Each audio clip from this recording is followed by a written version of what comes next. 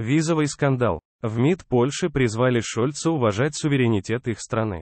Министр иностранных дел Польши Збигнев Рау попросил федерального канцлера Германии Олафа Шольца уважать суверенитет Польши, а также воздерживаться от заявлений, которые ухудшают взаимоотношения между двумя странами. Об этом сообщает РБК Украина со ссылкой на польское радио. Такие обращения польского министра прозвучало после угроз Шольца снова ввести пограничный контроль между государствами, о чем он заявил на фоне разгоревшегося скандала из-за незаконной выдачи сотни тысяч рабочих виз мигрантам.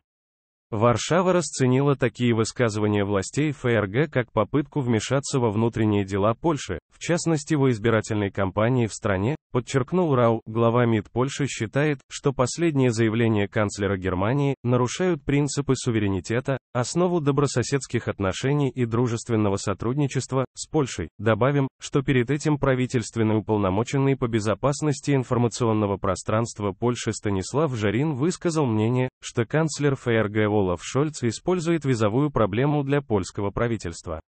Он усмотрел в этом давление на Польшу во время избирательной кампании, что этому предшествовало. Ранее канцлер Германии Олаф Шольц заявил, что визовый скандал, который происходит в Польше, требует расследования.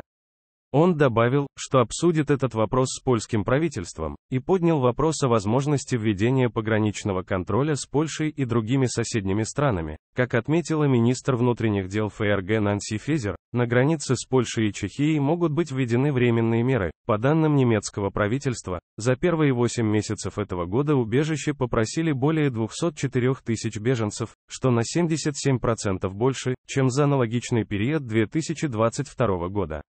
По данным немецкой полиции, в первой половине этого года на границе с Польшей было задержано более 12 тысяч нелегальных мигрантов. Срочные и важные сообщения о войне России против Украины читайте на канале РБК Украина в Телеграм.